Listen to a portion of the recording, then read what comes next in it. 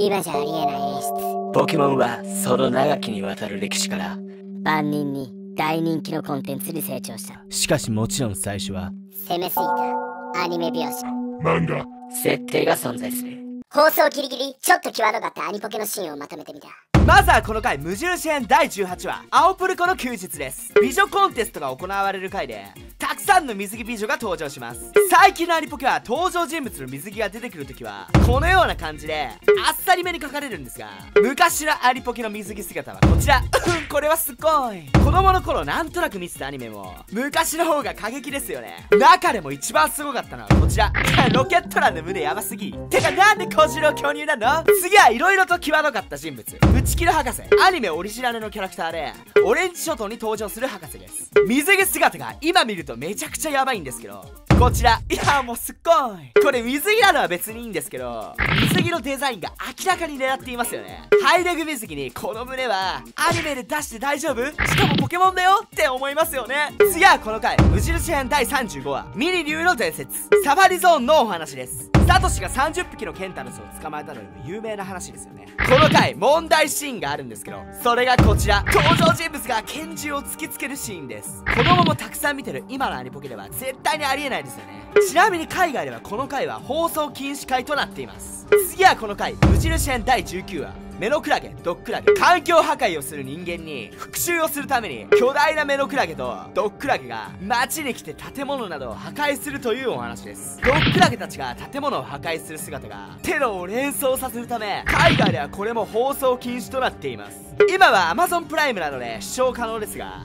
洪水シーンなどもありたびたび放送エピソードからされています。次はこちら無印編38話で放送された電脳戦士ポリゴン。これは際どいっていうかもうアウトな回ですね。日本でも海外でも放送禁止になっています。激しい光の点滅で当時テレビを見ていた多くの人が病院に運ばれました。いやこれは今ではありえませんね。テレビを見るときは部屋を明るくして離れてみてねと。アニメの前に始まるこれはこのポリゴン界のせいで付けられるようになりました。これは有名な話ですよね。二度と起こらないようにしたいですね。ロケットランの変装が雑すぎる件について。まずはこちら。一般人に変装してサングラスをかけるスタイル。これ結構ロケットランの変装の中では定番ですよね。てかいつも思うけどニャースとソーナンスで変装する意味ある？逆に怪しい。次はこちらカメラマンとアシスタント風の変装。ニャースの顔の人間は怖すぎる。次はこちら応援団風の変装。うんこれはロケットランにはギリギリ見えないから合格。次はこちら上位姿の小次郎。いやこれは不自然すぎる。完全に不審者。いやなんで隣のお前気づかないの？次はこちらモンスターボールの工場員の変装。いやニャースの女装が怖すぎる。これよくいる性格悪いおばさんじゃん。次はこちらはるかとまさとに変装していやいやいやいやいやこれは無理がありすぎる。まさとそうなんすしか言えないじゃん。まあ似合ってるけど。次はこちらサトシとセレナとピカチュウの変装。いやだんだん変装上手くなってるな。まあピカチュウは不自然だけど。ニャースはユリイカ役かな。いや可愛いけどポケモンはポケモン。小判の主張が激しいな。てか総合的に思うんだけどロケットランの変装でみんな気づかないのはなぜ？昔あった大木博士のポケモン川柳が意外とひどすぎた。ポケモン川柳は大木の博士が作るポケモンに関した川柳ですね。まずはこちら。ムックルがムクムク進化。ムクワードいやムクムク進化ってなんやねん。無理やりすぎでしょ。次行きましょう。ムクワード切れ味鋭く翼がうなる。うーんめっちゃ字余り。次はこちら。道しるべ。頼りになるよ。天竜。読みにくい。次はこちら。ニャルマーは。尻尾がくるくるニャルまってる。ニャルまってるって日本語何？次はこちら。鼻からぶ炎が別府ポカブがプバカ適当やん。次はこちら。チャッチャッチャチャッチャッチャッチャバケチャッチャッチャッチャ何も考えてないな次はこちら木の上にラッタが走るよラッタッタ最後無理やりすぎラッタに合わせた感がすごいラッタッタってなんかめっちゃ嬉しそう次はこちらこれは視聴者が考えた川柳みたいですね爆風が腹がむずむず爆風 うまい。これはうまい。次はこちら。次はこちら。またつぼみ。いるよねこんな顔の人。いや普通に悪口。じゃあここで俺も行く。大きいのよ。そんなんだから終わるのよ。んなもポケモンゲットだろ？アリポケのよく見るとわかる作画ミスまとめ。まずはこちら。どこでしょう？右上のイーブに注目。ジメイベイ端っこだから雑ですね。次はこちら。出てんね？出てんね？これは俺でも書けるわ。次も出てんね。よく見たら？ほっぺ塗り忘れてる。次もおそらく塗り忘れだと思うんですが。こちら。リオルの耳が青い。皆さん本当は黒ですよ。次はこちら。ニーフィアの顔。いやこれ目から下もしかして人描こうとした？途中であニーフィアだ間違えたっつって。いやちゃんと書き直そう。次はこちら。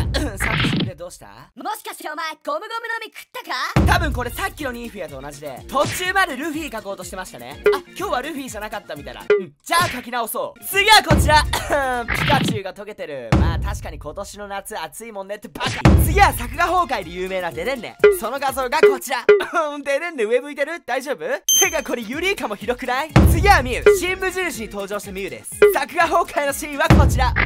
全然可愛くなかった。次は正面から見たらヤバいポケモンたち。1枚目はジャローだ。横から見たら綺麗なポケモンなんですが正面はこちら。顔のバランスどうした？横顔美人なのに正面どうした？次は2体目サーナイト。綺麗で人気のあるポケモンですが正面の姿がこちら。これ前髪上げたら目一つ説あるよね。3体目はバンギラス。普通に見たらかっこいいポケモンなのに正面はこちら。うんアホ面だった。最後はこちら。ルカリオの目がいっちゃってる。技を出すのに必死すぎる。今見ると子供向けではない。ポケモンに出てくるビキニお姉さんがエロすぎた件について。